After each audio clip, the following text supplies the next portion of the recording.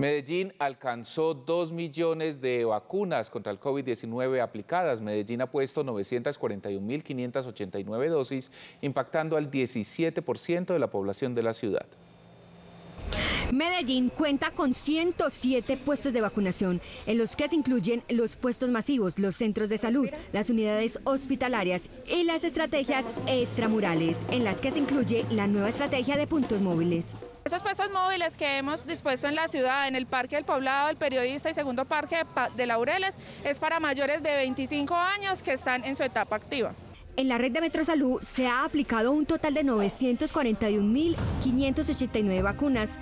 De estas, 492.247 son primeras dosis, 336.137 segundas dosis y 113.205 únicas dosis. Eso equivale eh, al 17% de la población de Medellín.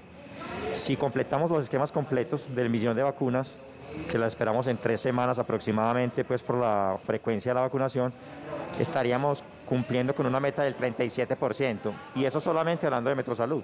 Los lugares con mayor promedio de dosis aplicadas son la Unidad Hospitalaria de Castilla, con 43.675 dosis, el Centro de Salud San Lorenzo, con 13.958 dosis, y el punto masivo del estadio, con 121.000 305 dosis.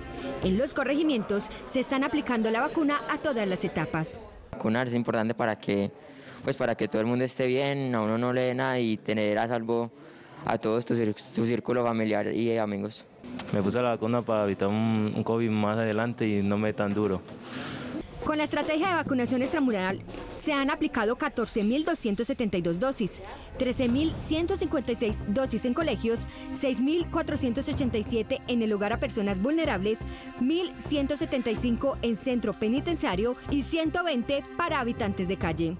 Se convierte en un círculo virtuoso el proceso de vacunación y la salud de todos sea una meta. Invito a todos a que nos vacunemos para lograr eh, la inmunidad de rebaño y más ahora los chicos que están estudiando eh, presencialmente. La ciudad presenta un avance del 17% en la vacunación total de la población.